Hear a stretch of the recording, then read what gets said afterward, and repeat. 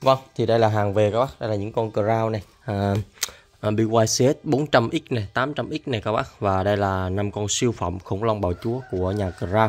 Đó là crown uh, 5000 VZ và 5002 VZ thì nó đều là có một con 502 VZ này quá đồng một giá nha bác 5000 và 002 chỉ là khác cái tên thôi còn cái ruộng đi chăng nhau à nó, nó chỉ nâng cấp về con 502 nó xuất cho thị trường uh, như là châu Âu hay là Nhật các bác còn 5000 VZ nhiều bác thì thích số chẵn thì lấy 5000 còn thích uh, số lẻ thì uh, mình lấy con 02 còn hai con như nhau đồng giá nha quá giá hiện tại em đang à, đưa về những con nào đẹp hoặc là long lanh luôn nha 33 triệu 500 bác nào mình nhanh tay thì alo cho em nha. Đây là những bản full hết nha có bản full dây à, dây nguồn lớn này. Đấy tem tem nhôm nha các bác tem nhôm này. Đấy. Các bản, bản full của 5000 VZ là là như nào? Nó là trạm trạm xoáy nha. Còn bản, thường là trạm à, ván ốc nha. Đây bản, bản full này. Bản full dây nguồn lớn này. Tem nhôm này.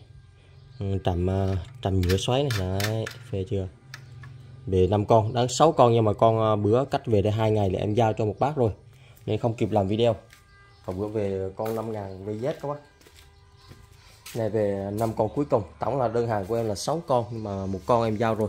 Mà cũng con nó không làm video luôn và năm con này về ngày hôm qua nên làm video thông báo các bác bác là mình cần thì alo cho em. Giá 33 triệu 500 nhanh tay sở hữu những hoa hậu không nha các bác hoa hậu không à?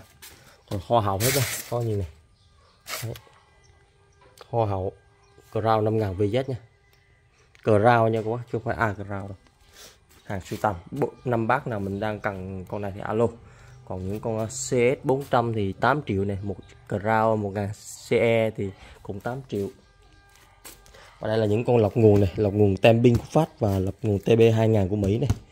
Ừ, số lượng thì em sẽ uh, thông báo sau. Ờ, con còn tem pin của Pháp thì ờ, nó một triệu uh, 1 triệu 7 50 còn con tem TB 2000 là 2 triệu 2 còn giá cũ nhé nhìn mấy con crown rất là phê luôn vì nó quá đẹp quá